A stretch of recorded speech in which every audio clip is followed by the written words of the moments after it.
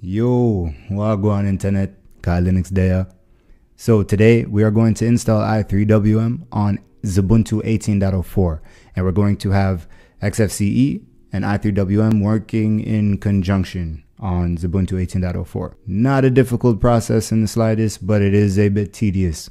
Uh, I followed Feeble Nerd's guide on Blogspot or Blogger.com. Feeble Nerd has a full guide of getting on getting i3WM working on a Xubuntu setup or an XFCE setup, depending on what distro you're on. What I've chosen to do though is modify some of the things that Feeble Nerd provided because there are certain things that you might not need to do. When Feeble Nerd put that together, I think the latest version of Xubuntu at the time was 16.04, and things have changed up a little bit, so many of the steps are completely unnecessary. Follow Feeble Nerd's guide though if you are on Ubuntu 18.04 and you'd like to install the XFCE desktop on top of that, not a fresh copy of Xubuntu 18.04. This guide is for those who just installed Xubuntu straight away from the Xubuntu website. So let's get started and shouldn't take too too long. I'm to try and be quick but still um, easily or easy to follow. All right, let's get started. First things first. This is a this is kind of an obvious one. We're to open up a terminal and we are going to install i3wm. So sudo apt install i3-wm and uh, you can add y on there if you want to. I just don't feel like responding to prompts.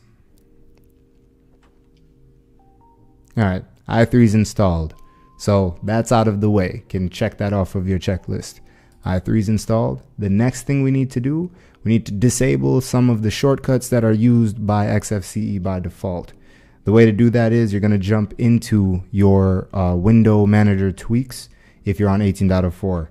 So we're going to Alt F3 to jump to our application finder. We're going to look up uh, window manager. Now under, I can't remember if it's tweaks or just window manager. It might be just window manager. So we're going to go in there and here we go, keyboard.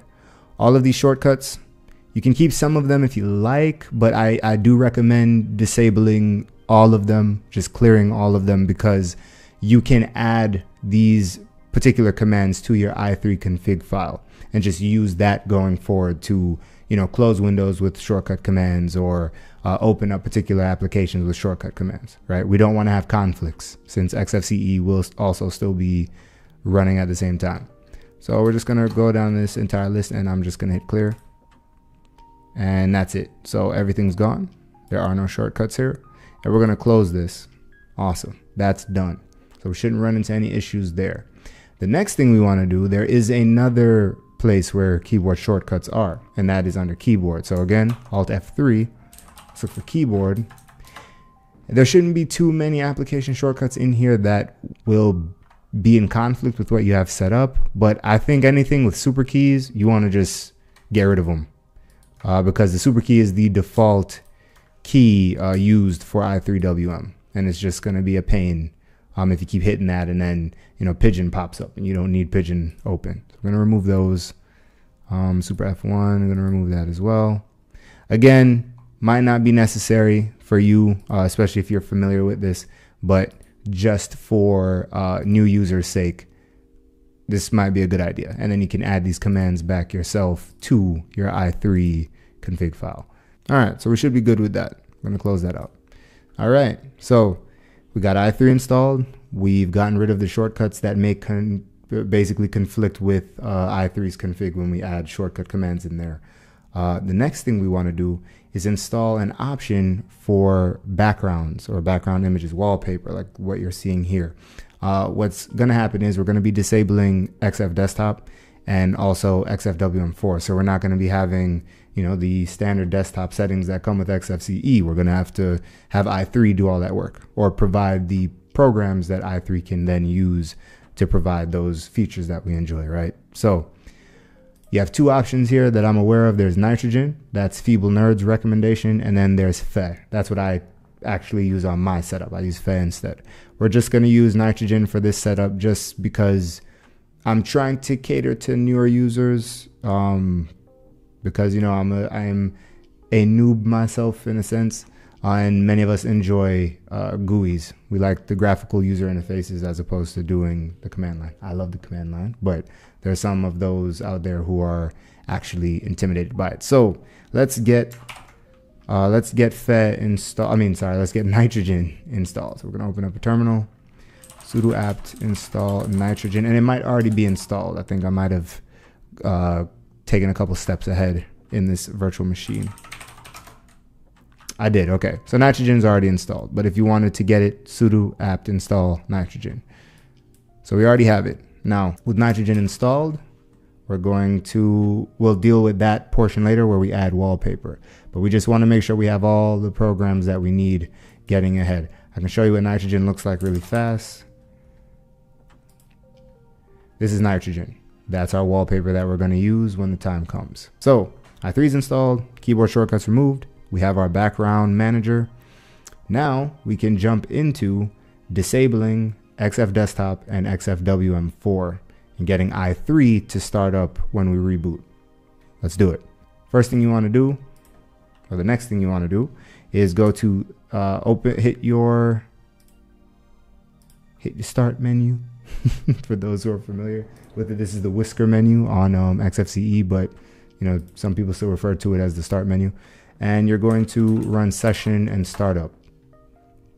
Under session and startup, we're going to first go over to session and you'll see XFWM4 and you'll also see XF Desktop.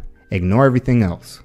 Under XF Desktop, change the restart style from immediately to never. And then under XFWM4, under the restart style, same deal, change from immediately to never. Once you're done doing that, you're going to hit save session. Don't forget this part, it's important. Now, under application auto start, what we're to do is add i3WM. Now I have it here. I'm to remove it completely so you guys can see the steps. So we want to add the, I, the i3 window manager here. So we're to click add and the name i3WM description tiling window manager and the command is just i3 that's it hit the ok button make sure it's checked it's checked so that means upon reboot it's gonna pop back up all right.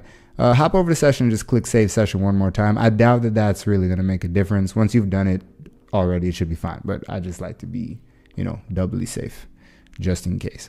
Now, from here, all we're to do is hit close. We could reboot right now and then jump right into i3. Uh, when you do that, you'll get a prompt that says, hey, we noticed you got i3 installed, but you haven't configured it yet. Would you like us to automatically generate a con- uh, generate a configuration for you? Uh, the answer would be yes if you don't have a config option already available. I've downloaded a config um, and I have my own personal config that I use on my main machine. Remember, this is a VM. This is a guest machine here. Um, on my host machine, I have my own dot files that I made based on Feeble Nerds dot file. That uh, the dot file from Feeble Nerd is what we'll be using uh, for these purposes here in this guest OS. Uh, but I will reboot and demonstrate uh, how i3 auto generates a config file for you. So let's restart.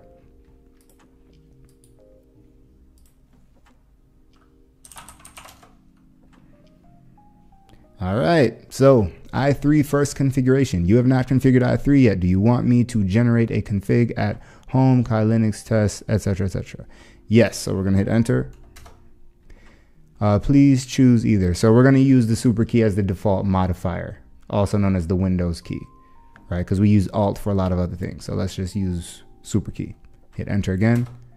And now we have a default config provided by i3. Again, you can just run with this and have this be the setup that you use and then go in and modify it your, on your own.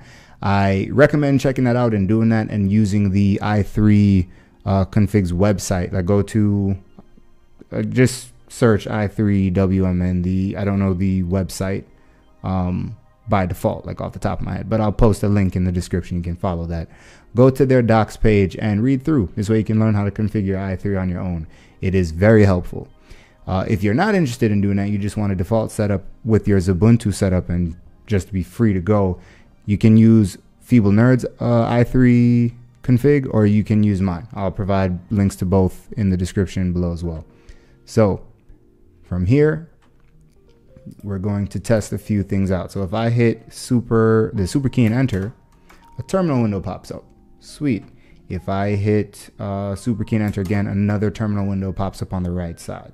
If I want one to appear below, I think it's super V, and then super enter. And there you go. And now one pops up below. So V is for vertical.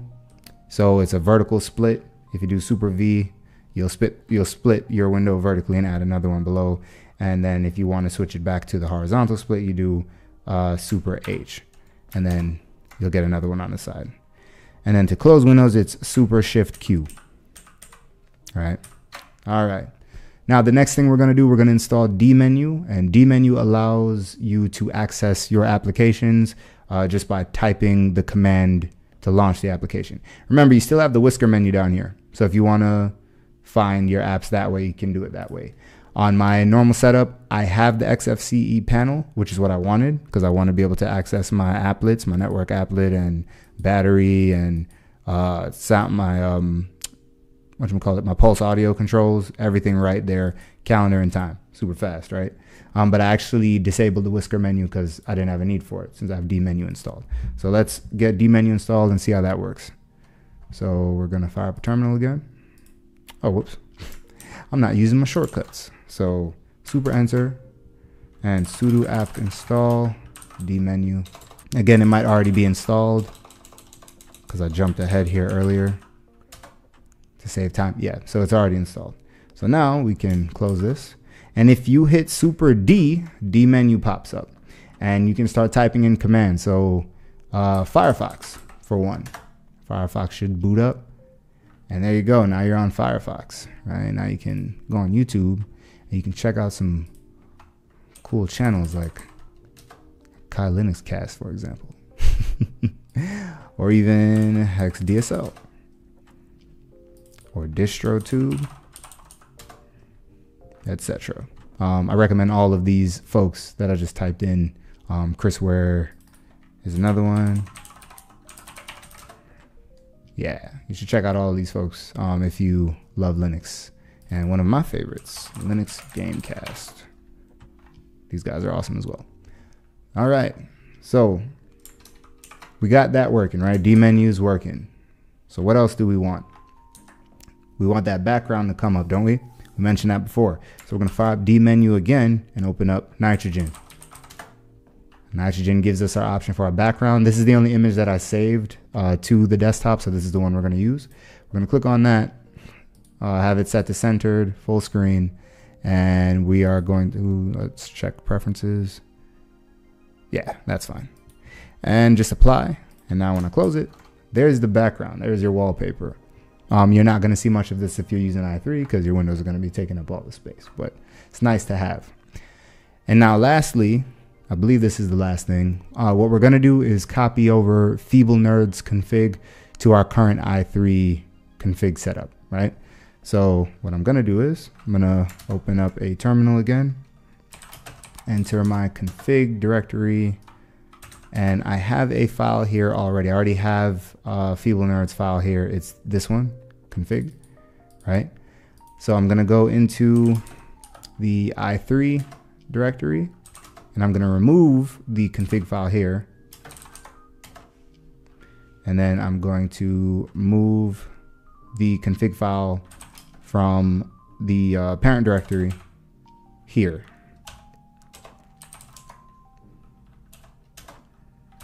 Now that one's here. And now I'm going to reset i3. So what that means is we're going to hold down the mod shift, uh, hold down mod or a super key, shift, and then R. And there you go. Now you might have noticed that the window title and the border around the window disappeared. Now I also added a I added an additional line to Feeble Nerds config file that uh, was made available that gets rid of borders, and we can take a quick look at that. Um, this will be in my uh, dot file that I provide in the description box below, but Feeble Nerds dot file doesn't have this uh, particular function. So if we open up Vim, config, let me scroll down to the bottom here. All right, so down here, this line here is what gets rid of the border and the window title. So for every window, border pixel should be zero. That's it. So this is the line you need. I'll also put this little line um, in the description box below in case you just want to add that line the feeble nerds config and you don't want to use mine. No problem there. Um, I'll also add the, oh no, I can leave this out. So if you do use feeble nerds config, you'll see this uh, execute no startup ID nitrogen restore. So that means every time you reboot your system, you log back in, um, nitrogen will launch and your background should stay the same. And that is really all there is to it. Um, as far as i3 is concerned and getting familiar with i3, I highly, highly, highly, highly recommend that you go and check out the documentation. Watch some YouTube videos on it if you like. Um, if you are still terrified of messing with tiling window managers and you feel like they are for the super elite or something, you know, crazy. um, or maybe just for crazy people, right? if you're thinking that uh, you are not ready for i3 or any tiling window managers yet, um, you can check out my XFCE lazy tiling window uh, option. And you can also check out the how to remove borders and windows from the lazy version of tiling, tiling window managers with the default XFCE setup. If not, um, and you want to give this a shot, which I do recommend, you should you should check it out just hop right in, follow this tutorial, check out Feeble Nerds guide as well. It's relatively the same, um, except this one is, you know, this one has fewer steps than Feeble Nerds does. And that's really it. So, uh, yeah, go forward, go forth and prosper. Um, with all that being said, this has been Kai Linux, and remember, no matter what distro you use out of many, one Linux. Give thanks. Peace.